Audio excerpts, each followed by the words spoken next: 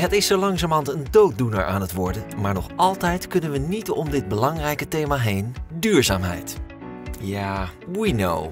Klinkt mega saai, maar misschien is het toch handig om even te blijven kijken. Want door iets duurzamer te leven, draag je een hoop bij aan je omgeving, de planeet en zelfs aan je bankrekening. Maar hoe doe je dat precies, duurzaam leven? Dat gaan wij je in een paar video's uitleggen. In deze video circulaire economie. Op dit moment werkt onze economie zo. We halen grondstoffen uit de aarde en daarvan maken we producten zoals smartphones, verpakkingen en Lego-blokjes die heel veel pijn doen als je erop staat.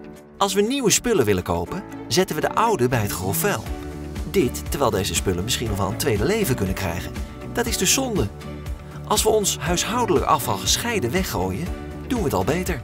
Dit maakt het namelijk makkelijker om afval opnieuw te gebruiken. Iemand die van zijn afval iets nieuws weet te maken is Michael Wilde. Hij is een echte pro. Hij maakt bijvoorbeeld met zijn wormenbak zelf compost en recycelt al zijn afval. Nou, ik heb wat afval uit de keuken verzameld. Dat uh, gaat in deze hele mooie groene bak. Het lijkt gewoon op een uh, normale groenteafvalbak, maar het is eigenlijk een hele bijzondere plek waar er meer dan tienduizenden wormen wonen.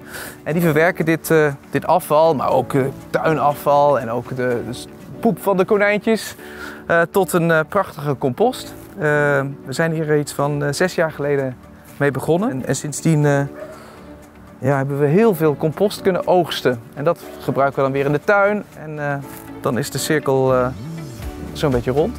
Ja, het is gewoon prachtig spul. Eh, je ziet dat niet alles uh, verwerkt wordt. De avocado-schil of de walnoot. Het, ruikt niet, het is gewoon heel neutraal. Het is gewoon een, uh, een prachtig product. Ja, die appels, daar hebben we ook weer insecten bij nodig. Dus wij stimuleren dan weer die insecten met een mooi insecthotel. zodat ze zich helemaal thuis hier voelen. Want eigenlijk is de kringloop gewoon de natuur het beste voorbeeld van de kringloop. En we kijken vaker met circulariteit naar technologie en op zich allemaal heel erg belangrijk. Maar laten we de natuur niet vergeten, want daar kunnen we zoveel van leren. En niet alleen inwoners dragen bij aan de circulaire economie. Misschien nog wel belangrijker zijn de ondernemers. Want als ondernemer kun je jouw productieproces onder de loep nemen en voor producten en materialen kiezen die je op het einde van hun levensduur weer kunt hergebruiken. Cradle to cradle heet dat. Bij XX Architecten snappen ze het belang van duurzaamheid en geven ze hem circulair vanjetje. Eigenaar Jouke bouwde een huis bijna volledig gemaakt van recyclebare materialen.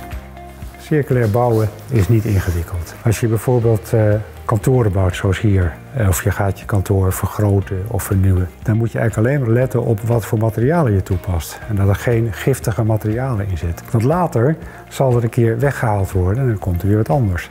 En dan moet je zorgen dat je voetafdruk, zoals het heet, schoon is. De reden dat ik uh, dit huis zo gebouwd heb, uh, komt eigenlijk voort uit uh, een gedachte van 20 jaar geleden. 20 jaar geleden toen moest ik een kantoor bouwen en toen dacht ik van je moet het eigenlijk zo doen dat je helemaal geen vervuiling meer achterlaat. Dat die hele aarde schoon blijft en dat wij de aarde als bouwers niet vervuilen. Toen, 20 jaar geleden, toen hebben we eigenlijk een kantoor ontwikkeld waarvan het, uh, de levensduur 20 jaar is. En dat na 20 jaar, dat is volgend jaar overigens, uh, uiteindelijk alleen nog maar de grondstoffen overblijven.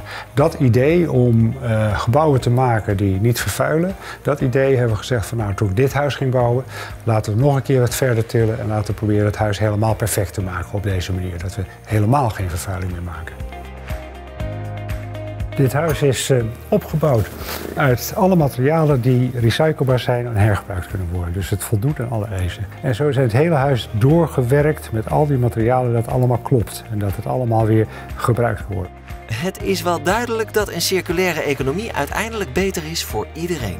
Bovendien zijn de eerste stappen naar een circulair leven snel gemaakt. Bijvoorbeeld door je afval goed te scheiden of te zorgen dat je zo min mogelijk afval veroorzaakt. Je eigen tassie mee naar de supermarkt dus. Allemaal simpele manieren om iets circulairder te leven. Ook de gemeente heeft al een start gemaakt. Hoe? Dat zie je op www.lansingerland.nl duurzaamheid.